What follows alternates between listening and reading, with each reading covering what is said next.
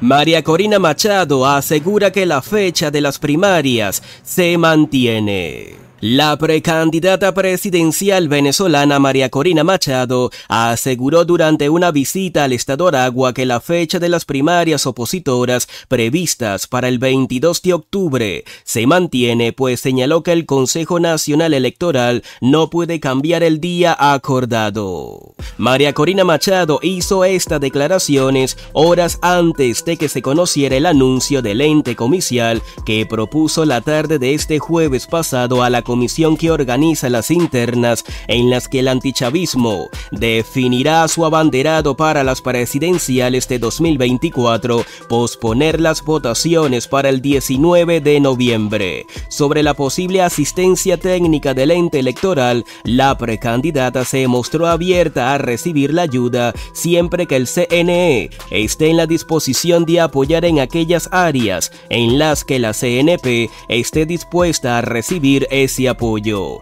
Si no están en capacidad o disposición de hacerlo, el proceso sigue tal como va. Así lo dijo la dama de hierro, la dama con los ovarios bien puestos, María Corina Machado.